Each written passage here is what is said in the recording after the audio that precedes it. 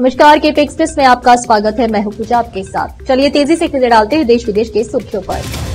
Pennsylvania में rally के दौरान हुआ था कातिलाना हमला। अब एफबीआई के सवालों का जवाब देंगे ट्रंप। कंबोडिया में सत्रह दिन पहले लापता सैन्य हेलीकॉप्टर का मिला मलबा, दो पायलटों के शव बरामद। तालिबान का बड़ा फरमान, अब मान्य नहीं होंगे ये दस्तावेज़। बाल बाल बचे गौरी कोरी ने, अधिकारियों ने फायरिंग कर पीएम को अस्पताल से निकाला बाहर। नॉर्थ कैरोलिना के गवर्नर कपूर ने हैरिस का उपराष्ट्रपति प्रत्याशी बनने की दौड़ से खुद को किया बाहर। मोटापा समेत इन बीमारियों ने कर रखा है तानाशाह को परेशान। विदेशी दवाओं से होगा किम जोंग, उनका इलाज। राहुल गांधी का आरोप अनुराग ठाकुर ने दी संसद में गाली। बीजेपी सांसद ने दिया जवाब, बहस में कूदी अखिलेश।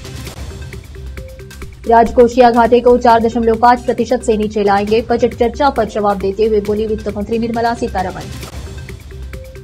रिकॉर्ड में जया, अमिताभ बच्चन ही है आपका नाम। आज राज्यसभा में जगदीप धनखड़ ने भी सुना दिया। वायनाड सहित इन जिलों के लिए मौसम विभाग ने जारी किया रेड अलर्ट नहीं मिलेगी आफत से राहत। वायनाड लैंडस्लाइड पीएम मोदी ने केरल के सीएम को हर संभव मदद देने का दिया भरोसा, मुआवजे का ऐलान।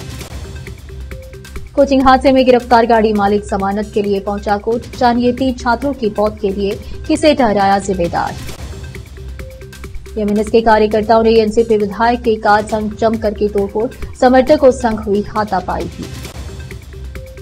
यूपी विधानसभा में लव जिहाद बिल पास दोषी साबित होने पर मिलेगी उम्र कैद तक की सजा। कर्नाटक के सकलेशपुर तालुका में दो और भूस्खलन। वायनाड भूस्खलन कर्नाटक केरल को हर संभव मदद देने के लिए प्रतिबद्ध सीएम सिद्धरामैया ने कहा।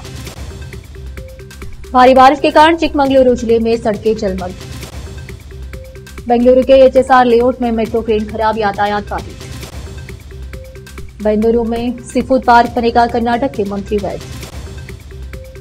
अमिताभ बच्चन से हुई चूक सोशल मीडिया पर गलत वीडियो शेयर करने के बाद अब फैंस से मांगी माफ़ी। संजय दत्त का बर्थडे रहा सुपर स्पेशल, पैंसठ साल के हुए एक्टर मिला कीमती तोहफा।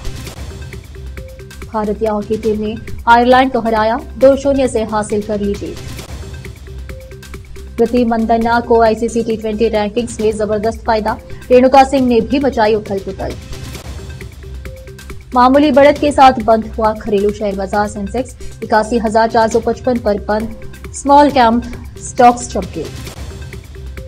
पीएम मोदी ने कहा, दुनिया भर के निवेशक की नज़र है भारत पर। इस सुनहरे मौके को न गवाए। केप एक्सप्रेस में इस वक्त के लिए इतना ही। फिर मुलाकात होगी अन्य समाचारों में। देश विदेश के समाचारों के लिए देखते रहिए आपका अपना channel. KP news twenty four seven धन्यवाद।